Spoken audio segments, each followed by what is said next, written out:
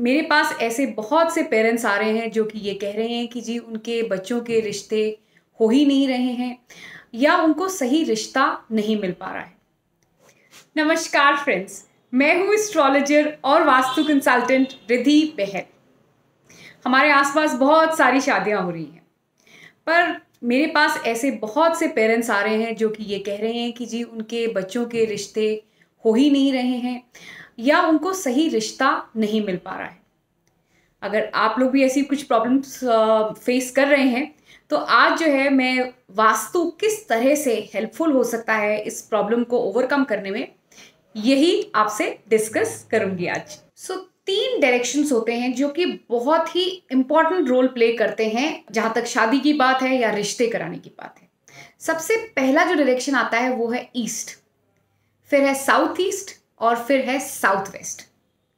सबसे पहले हम बात करते हैं ईस्ट की। जब हम शादी की बात करते हैं तो सबसे पहली चीज़ क्या होती है कि जी सही रिश्ता मिलना। अगर आप ये प्रॉब्लम से फेस कर रहे हैं कि जी हमें तो रिश्ता ही सही नहीं मिल रहा है। बहुत टाइम हो गया खोजते हुए पर कहीं सही कनेक्ट ही नहीं बैठ रहा है लोगों से। सो so, उसके लिए ईस्ट को चेक करिए अपने क्योंकि ईस्ट जो है वो जोन है कनेक्शन का नेटवर्किंग का सही कनेक्शन होने का, सही लोगों से आपके मिलने का। जब तक सही लोग नहीं मिलेंगे, तब तक रिश्ता कैसे होगा? तो ये देखिए, आपके ईस्ट डायरेक्शन में कोई टॉयलेट तो नहीं आ रही है। ईस्ट डायरेक्शन में कोई बहुत ज़्यादा भारी चीज़ तो नहीं पड़ी हुई है, या पीले रंग की कोई चीज़ तो नहीं पड़ी हुई है। अगर ऐसा कुछ है तो प्लीज़ इसको हटाइए। और फिर देखिए, कैसे रिश्ते आने शुरू होते अब रिश्ता तो आ गया। दूसरा स्टेप होता है कि जी, रिश्ते तो आ रहे हैं हमारे पास, पर मटेरियलाइज नहीं हो रहे मतलब रिश्ता जो है तय नहीं हो पा रहा है। किसी ना किसी कारण से कुछ ना कुछ ऐसा हो जाता है कि पहली मुलाकात तो हो जाती है, पर उसके आगे बात बनती ही नहीं है। या रिश्ता हो के फिर जो है आगे, उसकी आगे बातचीत नहीं हो रही नेक्स्ट स्टेप जो है, वो हम नहीं ले पा रहे उसके लिए जो है south east direction south east जो कि अग्नि कोण है। अग्नि कौन है? अग्नि क्या होता है? अग्नि एक्शन तो यहाँ पे क्या हो रहा है कि एक्शन नहीं हो पा रहा है नेक्स्ट स्टेप नहीं हो रहा है. इनिशिएशन एक्शन को हम यहाँ से, यहाँ लिंक करेंगे इनिशिएशन से. कि इनिशिएट ही नहीं कर पा रहे हैं, शुरुआत ही नहीं कर पा रहे हैं अगला स्टेप लेने की. तो ये देखिए कि आपके साउथ ईस्ट डायरेक्शन में, क्योंकि साउथ ईस्ट जो है वो फायर जोन है तो वहाँ पे कुछ वाटर रिलेटेड एक्टिविटी तो नहीं हो रही है. जैसे कल ही मैं किसी के वास्तु करने गई तो उनके साउथ ईस्ट में स्विमिंग पूल था। वाटर बॉडी आ गई साउथ ईस्ट में। फायर जोन में आपने वाटर को इंट्रोड्यूस कर दिया। बहुत प्रॉब्लम्स फेस कर रहे थे वो। तो अगर आपके यहाँ पे भी साउथ ईस्ट डायरेक्शन में वाटर रिलेटेड कुछ भी है, जैसे मैंने स्विमिंग पूल का आपको एग्ज़ाम्पल दिया, कोई पॉन्ड है या नीले रंग की चीज़ है जो कि वाटर का कलर है या काले रंग की कोई चीज़ है तो प्लीज़ ऐसी चीज़ों को वहाँ से हटा दीजिए।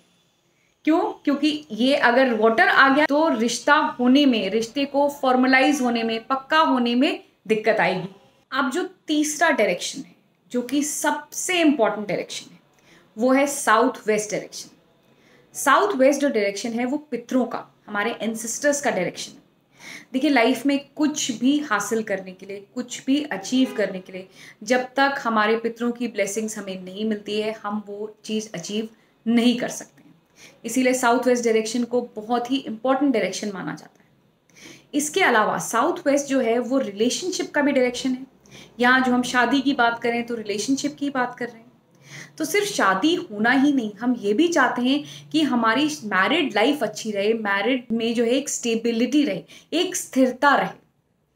क्योंकि हमारे यहाँ जब शादी होती है तो दो जनों में नहीं होती, दो परिवारों में होती है, दो परिवार जुड़ते हैं। तो ये कोशिश होती है कि जी, जो इन दोनों परिवारों का जो रिश्ता है, वो स्टेबल रहे, आपस में प्यार बना रहे।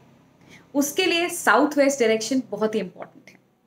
जैसा मैंने कहा रिलेशनशिप का जोन है, पितरों का जोन है और स्टेबिलिटी स्थिरता का जोन है। हम शादी में, रिश्ते में स्थिरता चाहते हैं। तो अब यहाँ पे ये देखिए आप कि साउथ वेस्ट जोन में आपके कोई किचन टॉयलेट और जो सबसे इंपॉर्टेंट चीज़ है कि वहाँ पे हरियाली नहीं होनी चाहिए पेड़ पौधे नहीं होने चाहिए। क्यों? क्योंकि साउथ वेस्ट जो है, वो अर्थ एलिमेंट है। और पेड़ पौधे जो हैं, जो प्लांट्स हैं, वो एयर को रिप्रेजेंट करते हैं। तो एयर जो है, वो क्या करती है? अर्थ को, मिट्टी को उड़ा ले जाती है। तो अगर वहाँ पे पेड़ पौधे होंगे तो रिश्ते बनने से पहले ही ख़त्म हो जाएँगे। तो ये तीन जोन जो है, जो मैंने आपको बताया आज, इनको अपने घरों में जाके चेक करिए। और जो भी प्रॉब्लम है जो आप फेस कर रहे हैं इन जोन से रिलेटेड जैसा जो जो पॉइंट्स मैंने आज आपको बताए, वो भी चेक करिए और उनको हटाइए। फिर देखिए किस तरह आपके घर में भी बहुत जल्दी ढोल नगाड़े बजते हैं। I hope you follow these vastu tips take care नमस्कार